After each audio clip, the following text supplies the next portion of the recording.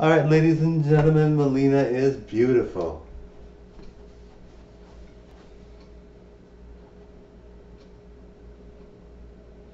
Click that subscribe button, everybody.